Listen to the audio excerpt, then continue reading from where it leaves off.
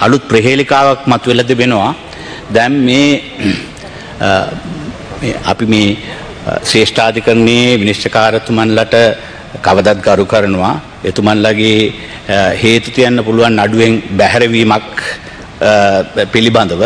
නමුත් පෝලිමට දැන් විනිශ්චකාරවරුන් හතර දෙනෙක් නඩුවකින් බැහැර වී තිබෙනවා. මේ පිළිබඳව සම් නිශ්චිත ක්‍රමවේදයක් අවශ්‍යයි. අඩුම වශයෙන් අපි මම මේ කියන්නේ අපි ශ්‍රේෂ්ඨාධිකරණයේ අග්‍රවිනිශ්චකාරතුමාව දැනුවත් විය යුතුයි.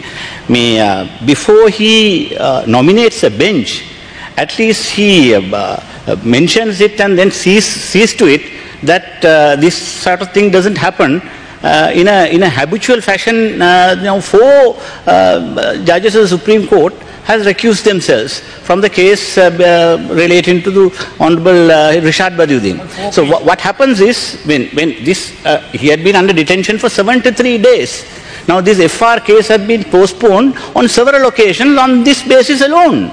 So it's a serious injustice and therefore the Honorable Chief Justice must be made aware that before nominating a bench, at least uh, he must uh, uh, find out whether there is any reason for uh, the said judges to recuse themselves from the case.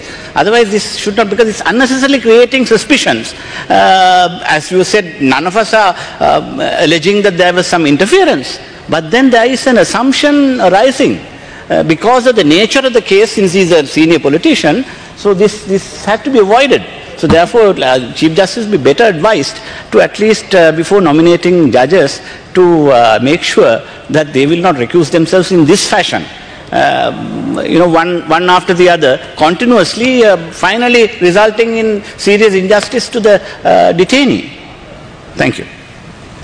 Will you reply? No, I, I, I also saw this on, on, on, only on paper, Honorable uh, Member.